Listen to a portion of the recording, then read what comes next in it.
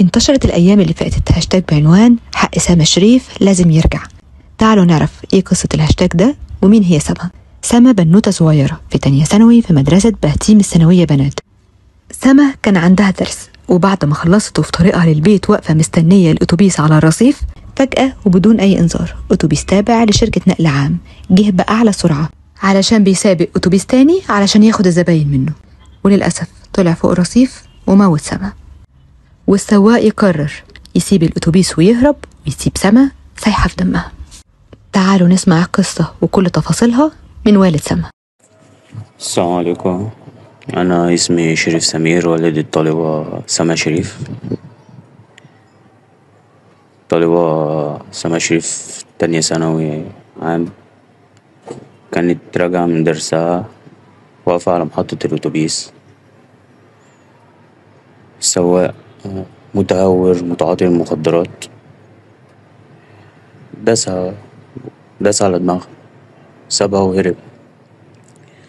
الكلام دوت بشهادة الناس وشهادة الركاب مش مش كلام بيتقال يعني إحنا بنقوله وخلاص.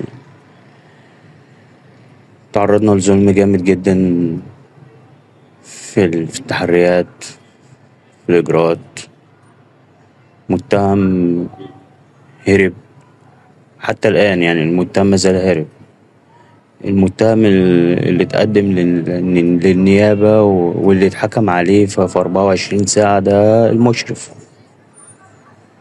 بنتي حقها ضاع بنتي حقها ضاع تحليل مخدرات يتعمل في مستشفى خاصة. مباحث رجال المباحث مفيش تفريغ تفريغ للكاميرات. ليه ده كله؟ ليه متهم يخش مكان متهم؟ أو ليه مشرف يخش مكان متهم؟ إحنا معانا دلايل كل الحاجة اللي تثبت إن اللي موجود ده المشرف مش المتهم اللي كان سايق. وبعتناها للمباحث على الواتساب. في شهادة حرق الناس ما صدقت إن هي تقدم حد مكان حد وخلص الموضوع يعني. كان ذنبها إيه إن هي راجعة من الدرس عشان واقفة منتظرة على المحطة واحد جاي يجري عشان يلحق زبون يعني. ذنبها إيه؟ بنتي كانت من المتفوقين في الدراسة. الحمد لله يعني أنا مربيهم كويس سمعتهم كويسة. معندناش مشاكل مع حد. أنا بطالب بحقها وتقدمت بشكوى للنائب العام. وتقدمت بشكوى لرئاسة مجلس الوزراء تقدمت بشكوى لمعالي وزير العدل. لسه محدش رد عليا لحد دلوقتي في أي شكوى من دول. المتهم مازال هارب. لسه في مشوار طويل أوي يعني عشان أوصل لحقها بس أنا مش هسيبه.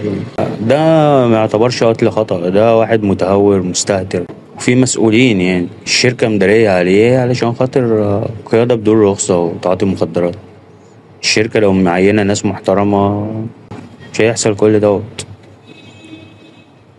لما أبقى واقف تاني يوم يعني أنا دفنت يوم الأربع بالليل يوم الحادثة الساعة عشرة الصبح. المتهم يتحول للنيابة يوم الخميس. يعمل مخدرات ويرجع من تحليل مخدرات في مستشفى خاصة. يرجع يتحاكم وبعد الحكم يستأنف. وده اللي هو إزاي؟ جماعة إحنا عايزين نفهم ليه ليه وإزاي؟ شركة الشركة دي ليه ليه مش خاضعة للقانون زي ما إحنا خاضعين للقانون؟ ليه؟ أنا عارف إن المتهم حتى لو اتمسك مش هياخد إعدام. ما إحنا ما إحنا فاهمين الكلام ده. بس ليه تتحسب واحد مكان واحد. أنا عايز حق بنتي أنا مش بطالب بحاجة صعبة. أنا بطالب بالعدل. أنا بطالب إن الناس تجيب السواق. أنا بطالب إن الناس تحكم على السواق الحقيقي. بطالب إن الشركة تخضع للرقابة وتخضع للتفتيش. تفريغ كاميرات الموقف.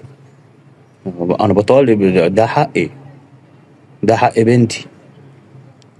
أنا اتهمت الناس ديت في محضر رسمي المحامي بتاعي قال لي إحنا مقدمناش حاجة غير إن إحنا نستنى جلسة الاستئناف ونشوف الدنيا هتمشي إزاي. يعني أنا استعوضت بنتي شهيدة عند ربنا واللهم الاعتراض لكن حقها في الدنيا أنا عاوزه. أنا أنا ما بطلبش حاجة صعبة. يعني الناس آه، كلها يعني كل الشهود اللي موجودة في المحضر وكل الشهود اللي موجودة المش المش مذكورين في المحضر يقولوا البنت كانت واقفة على الرصيف وبالعقل. يعني انت لو راجل جاي بسرعة خبطت حد انت هتطيره. لكن انت البنت واقفة دوست عليها ودوست على دماغها. عملت لك إيه؟ الناس عمالة تقول لك حاسب يا مفت حاسب حاسب. انت طلعت على دماغها. أنا رحت شفت بنتي في المستشفى. مفيش. وده واضح في الفيديوهات. ولما توجهت لنقطة الشرطة قالوا لي ده حادث تصادم وعمل. هو أنتوا متخيلين إن أنا يعني لما أشوف منظر زي دوت لبنتي في في في التلاجة معلش يعني. أنا هخرج أقرأ محضر إيه اللي أنا هقراه؟ حط حط نفسك أنت مكاني اعتبرها شوفها بنتك. أو. أو حفيدتك آه، هل أنت تتقبل الوضع ده؟ إحنا حقنا نجيبه إزاي؟ عملت إيه سما إن هي راجعة من الدرس خارجة واقفة على الرصيف تروح درس تاني. ما بطلبش حاجة غير إن أنا عايز حقها ما بطلبش حاجة غير العدل. بس. شكرا. في النهاية عايزين نقول ربنا يرحم سما ويصبر أهلها. وأكيد حق سما هيرجع. كنت أنا معاكم آية أبو الفتوح صدى البلد.